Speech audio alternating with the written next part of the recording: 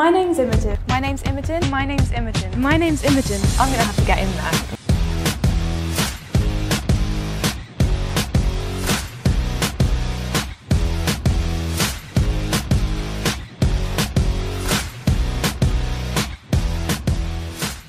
This is the first ever Science Uncovered live show. My name's Imogen and this is James and we're really excited about what we've got coming up for you on this evening's show. DNA methylation occurs when methyl groups attach to the DNA sequence. This effectively hides some of the DNA and stops sections from being copied into the RNA. The first fireworks originated in China. It's thought that a cook accidentally created a firework by mixing sulphur, saltpetre and charcoal and lighting them inside a bamboo shoot, which created a colourful flame with a loud bang. So I'm here in the chemistry lab today and I've got some chemicals here that are sometimes used in fireworks. So let's take a look and see how they burn. So thanks to Megan for that special weather report all about snowflakes. So next up, I'm really, I've been excited about this all day. We're going to be making oobleck. It's a suspension instead of a solution. Just leave it there. So when you put your sugar in your tea, really that makes a solution and it all Yeah. dissolves. But when you put the corn flour into the water, the particles are suspended Go for it. in the liquid. I am. Go on, go for it.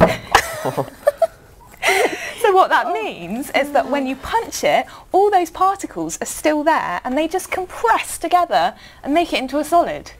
It's really, weird. isn't weird. it? So it's Monday of Freshers Week and we're going on a little tour of Brighton. Uh, so let's go and speak to some freshers. So I'm here with Elise. Um, Elise, what are you studying? Uh, I'm studying English. Okay. And have you been to Brighton before? This is Imogen, And this is Hannah. and we're here at the Pier Party Freshers 2013. So we're going to go down to the pier now and see what's going on. What are you studying? Uh, politics and international relations. I had to think about that. Yeah. And are you enjoying the pier party tonight? Oh, it's so good. Welcome to Freshers Fair 2013. Every year, around 90% of first year students catch some sort of illness in their first few weeks of university. It's commonly known So what is it and why do so many people get it? The violin was invented over 500 years ago in Italy by lute maker Andrea Amati, and today is one of the most popular instruments for children to learn. In more recent news, a very excited crowd gathered for the dissertation dash this Monday. With the music playing and the drinks flowing, the smiling crowd proved that this year's dissertation dash certainly did not disappoint.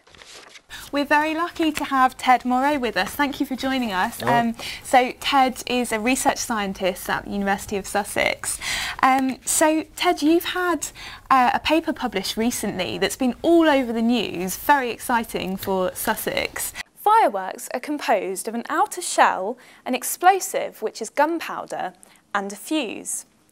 The fuse is lit, which ignites a small compartment of gunpowder in the bottom of the firework and propels it into the sky. So, could there be aliens? Well, we now know that there's a high probability that we're not alone in the universe. However, aliens could be so different to us that if we saw one, would we even recognise it as alive? So you mentioned in your paper that um, the problems with introducing this mitochondrial DNA could affect males more than females. What's the reason for that? So, um, As you can see, our paper aeroplanes didn't fly very well. That's because anything that flies has to be carefully designed so that the right amount of various forces interact to keep it up in the air. So uh, which drug is the most dangerous in terms of the potential of becoming addicted to it? New research has shown that mice may be able to sing in tune with one another. American scientists have discovered that when mice of different breeds are housed together, they can alter their vocal pitch to match that of the other mice. In the honeybee genome, methylation occurs at different points along the DNA sequence in workers compared to queens.